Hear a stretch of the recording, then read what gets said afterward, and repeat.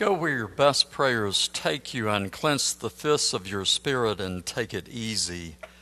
Breathe deeply of the glad air and live one day at a time. Know that you are precious and learn to trust. Amen.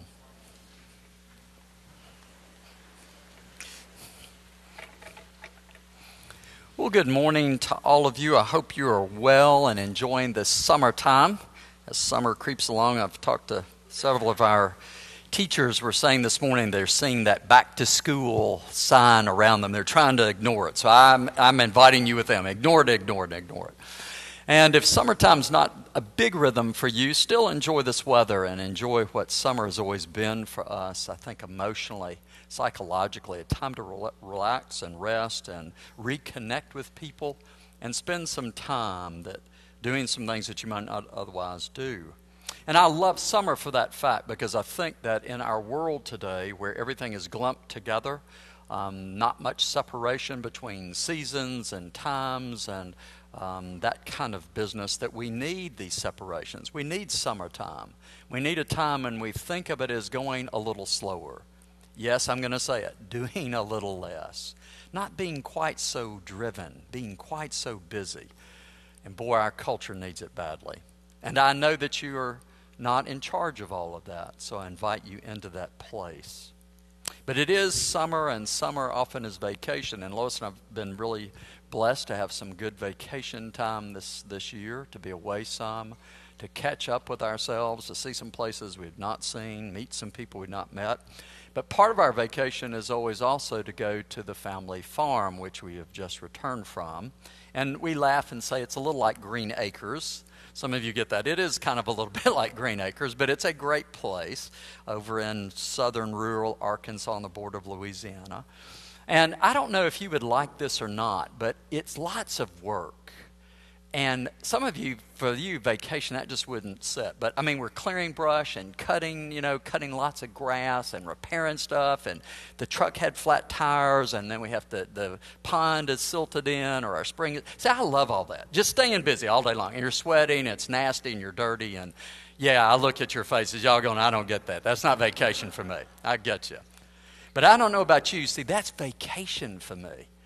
Because what it does is it brings some kind of deep kind of settling thing in my soul. I just slow down. And what I'm attending to is what I have. That's all that exists right there. My mind slows down, you know, that little hamster wheel. All of you got one of those? Things spinning. It spins a lot slower. The things that are close and pressing on me seem further away emotionally.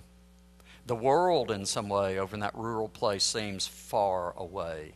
I was very thankful for that because I was feeling that deep sense of peace. A spiritual word, not a political word, not even a social word. It is a spiritual word. That deep resonance of peace inside of me.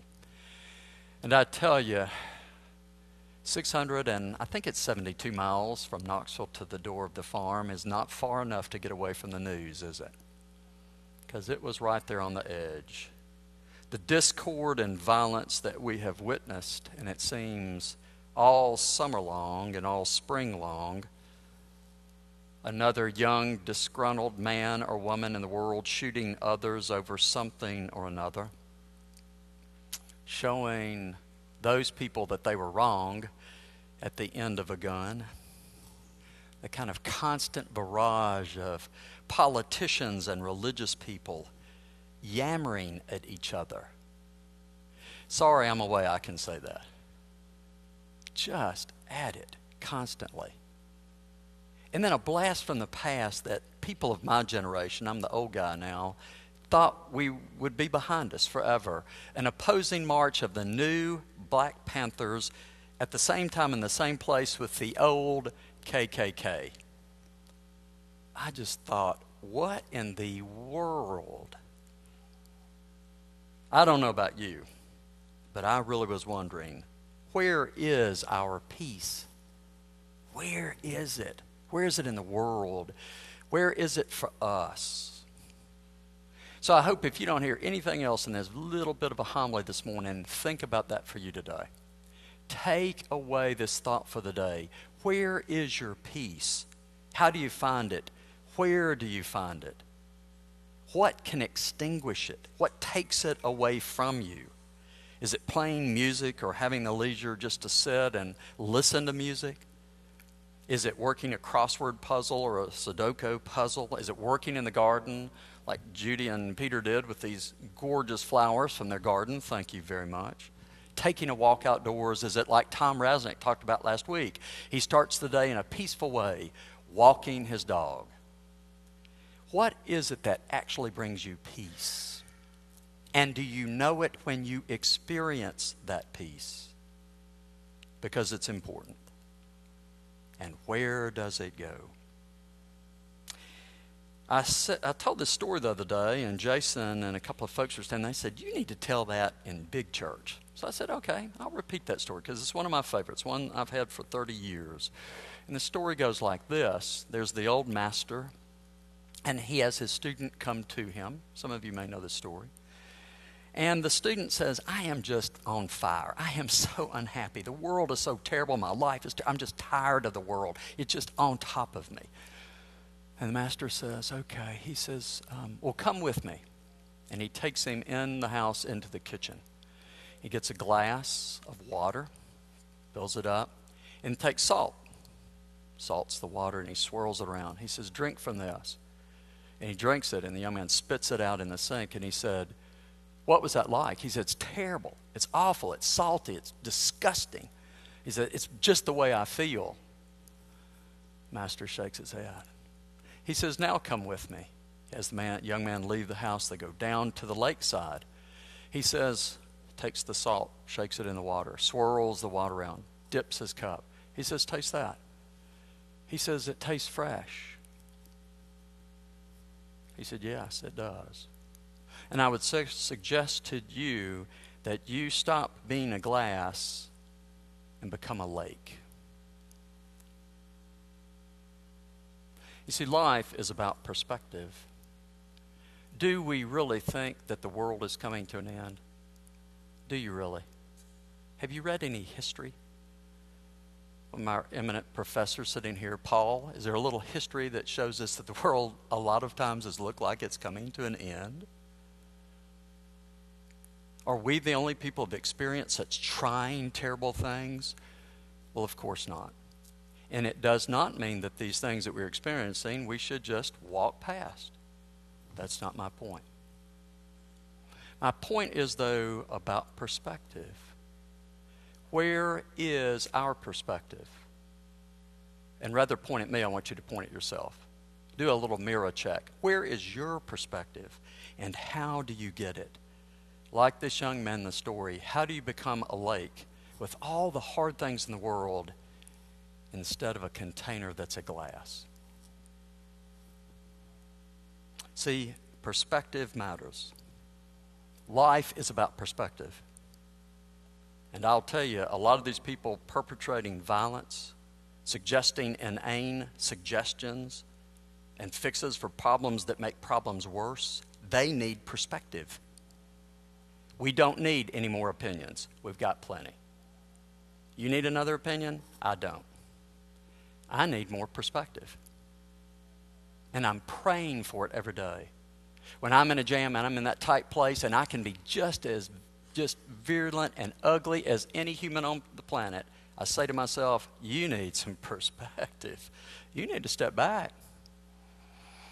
And I don't know about you, but I have two things that I do on a regular basis that cause my perspective to go right out the window. The first is to think that it's all up to me. I'm alone in this deal.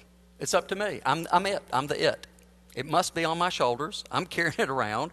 You know, the ball's in my court. Um, and I don't think I'm the only one that thinks that. I think a lot of y'all think that too. In fact, I think most of our culture thinks that. No, actually, God is on the job. Isn't He?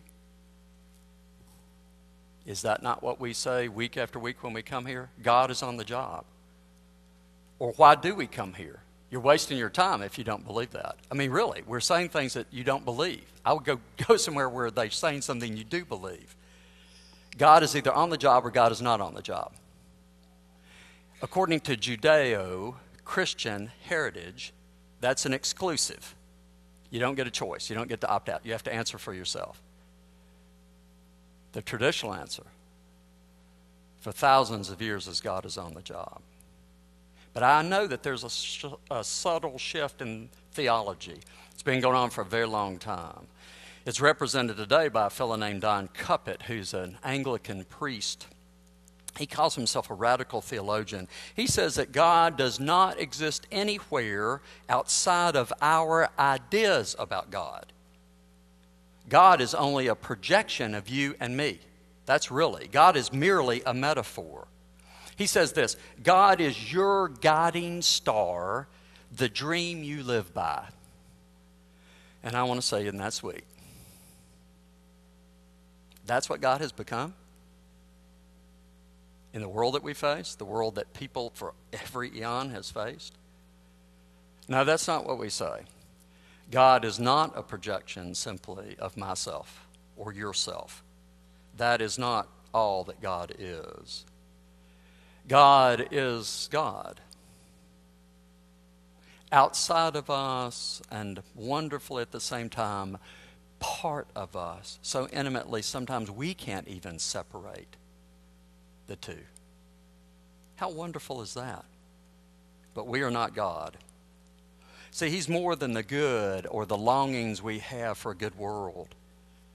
God is more than our work for a just and equitable society. That's not God. God is much more. And He's much more than the rules and regulations and the morality we seem to drop so blithely on one another on a regular basis. God is more than that.